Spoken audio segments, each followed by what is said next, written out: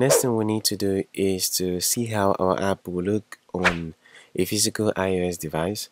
So I have my iPhone connected to my computer. So this is iPhone 11 Pro. Now the next thing we need to do will be to pop up our Android Studio. So what happens here is automatically Flutter will go ahead and select a provisioning profile for you. So as you can see we had some errors. Yeah, after trying to build our app, some errors surfaced and it's saying that no profile for com.ufinix.cap right we have found. So what this means is that we haven't set up a provisioning profile for this particular project. So it means that we need to first of all visit Xcode to properly set up a provisioning profile. Then we can be able to test our app on a physical iOS device. So what we are going to do will be to go to our iOS folder under the project pane so we're going to drop this down and we're going to go to the runner folder. So I'm going to right click on runner and I'm going to click on reveal in finder. So when we click on reveal in finder, it will go ahead and open this folder in our finder window. So if you're actually using a Windows machine, what you're supposed to see is show in Explorer. So you need to go ahead and click that as well. So now the next thing we need to do will be to go ahead and run our runner.xcode project.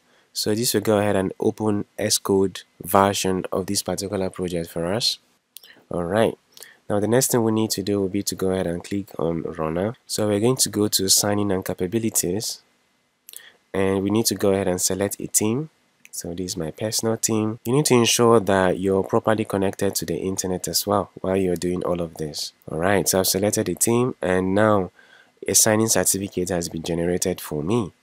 So this is basically all that we needed to do. So to confirm that everything works, we actually don't need to return to Android Studio again for now. We can just simply go ahead and test our app right here from Xcode. So as you can see, our device is already showing up. All we need to do is to go ahead and click the play button. Okay, so the build is already taking place. So this is going to take a couple of seconds or maybe minutes, depending on how fast your computer is. Alright, so our build is successful. Okay, so this looks good. So why there is so much space here is because I'm testing on an iPhone 11 Pro. So there's supposed to be a notch so that's why there's a lot of space over here. But this is exactly what we're expecting. Now we've successfully seen how to test our app on a physical device. So if I decide to go ahead and stop testing from Xcode and I can return back to Android Studio. So now that I've successfully set up a provisioning profile, I can also go ahead and click the play button from within Android Studio. It can now successfully test our app without running into any other issues. And bravo, we've achieved the same result. So this will be all for now. See you in the next class.